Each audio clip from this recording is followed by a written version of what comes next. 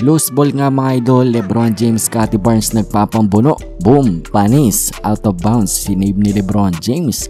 Naglabas nga ata ng galit itong si Lebron sa mga Lakers player dito nga sa rookie player netong Raptors. Steph Curry, very simple move. Jump step and then step back pero grabe ang space na nagawa.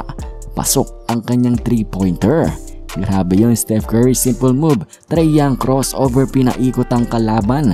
Finish, easy lay-in. Grabe, pinaikot. Ito namang si Nikola Jokic, grabe naman ang no-look dime dito kay Jeff Green. Salpak, tuwang-tuwa ang Denver bench. Napakalupit talaga ni Jokic.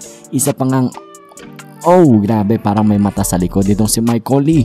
Grabe ang pasa para sa two-hand finish ni Gobert. Ito namang si Brandon Goodwin, talaga namang umere para palipalin. Ito ang si Brandon Boston. Grabe, ang taas. Isa pa mga idol, replay. Grabe ang nilipad, parang si Superman. Mm, huli ka idol, hindi pwede yan. Drew Holiday, grabe ang tira. Fade away going out of bounds pero walang problema. Swish pa rin yan para nga kay Drew Holiday. Yan nga mga idol ang ilan sa mga best highlights natin ngayon sa NBA. Hmm, Scotty Barnes. Pero anyways mga idol, yan lamang muna. Maraming salamat sa inyong panonood. Bye!